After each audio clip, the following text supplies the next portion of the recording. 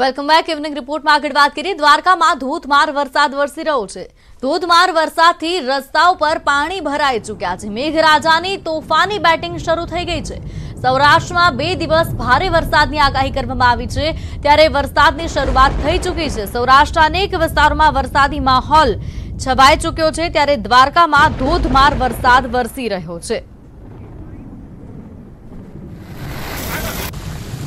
રાજકોટના ઉપલેટામાં પણ ધોધમાર વરસાદ વરસી રહ્યો છે. છેલ્લા અડધા કલાકમાં એક ઇંચ વરસાદ પડ્યો છે. હાડ, ફોડી, સમઢિયાળામાં વરસાદ થયો છે તો ભારે વરસાદથી રસ્તાઓ પર પાણી ફરી વળ્યા છે અને વાવણીના એક વરસાદથી ખેડૂતો ખુશખુશાલ થયા છે.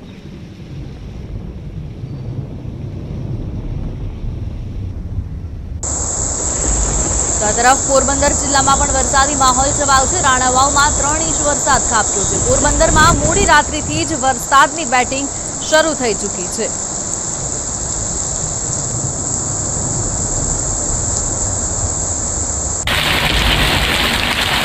આ તરફ અમરેલીના જાફરાબાદમાં પણ ધોધમાર વરસાદ વરસ્યો છે. દરિયાઈ કાંઠાના ગામોમાં વરસાદ વરસ્યો છે. બાબરકોટ વડેરામાં જોરદાર વરસાદ થયો છે. કડિયાળી ગામે પણ સવારથી જ વરસાદ વરસી રહ્યો છે.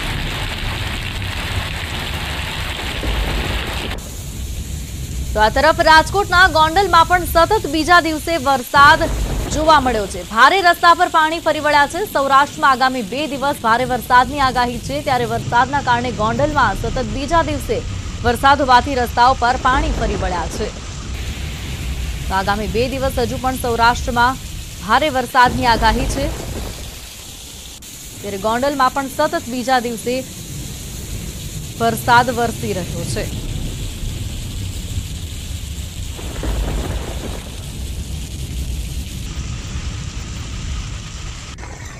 આ તરફ અંબાજીમાં પણ ધોધમાર વરસાદ વરસ્યો છે. અંબાજીમાં બપોર બાદ ભારે વરસાદ નોંધાયો છે.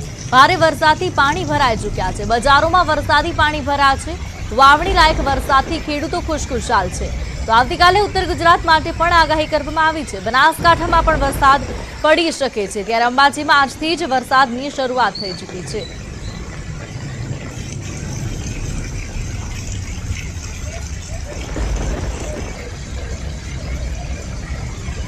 અમદાવાદમાં ધોધમાર વરસાદ વરસી રહ્યો છે ત્યારે ઉસ્માનપુરાના રસ્તાઓ પર પાણી ફરી વળ્યું છે. એક જ કલાકના વરસાદમાં રસ્તાઓ પર પાણી ફરી વળ્યું છે.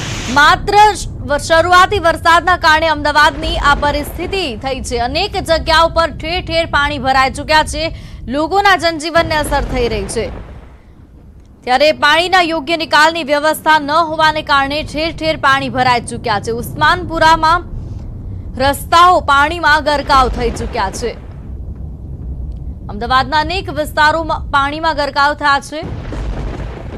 ઉસ્માનપુરાના દ્રશ્યો આપ જોઈ રહ્યા છો કે લોકોને વાહન પસાર કરવામાં પણ મુશ્કેલી પડી રહી છે. વાહનના જે વ્હીલ્સ છે તે પણ નથી દેખાતા. તેટલું પાણી અહીંયા રસ્તાઓ પર માત્ર એક કલાકના વરસાદમાં ભરાઈ ચૂક્યું છે. પાણીનો યોગ્ય નિકાલની વ્યવસ્થા ન હોવાને કારણે આ પરિસ્થિતિનું સર્જન થયું છે.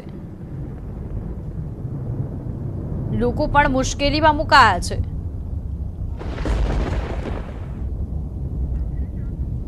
ફોનલાઈન પર સંવાદદાતા સંજય ટાંક જોડાય છે. સંજય, અનેક જગ્યાઓ પર પાણી ભરાયા છે. ઉસ્માનપુરાના દ્રશ્યો સામે આવ્યા છે. શું પરિસ્થિતિ અત્યારે સ્થળ પરની?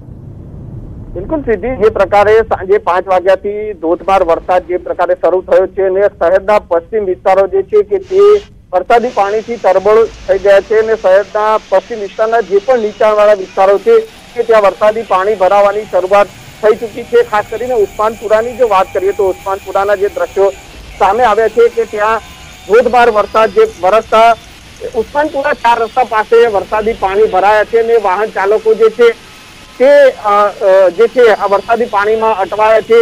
વાહન ચાલકોએ આ વરસાદી પાણીમાંથી પસાર થઈને નીકળવાની ફરજ પડી રહી છે.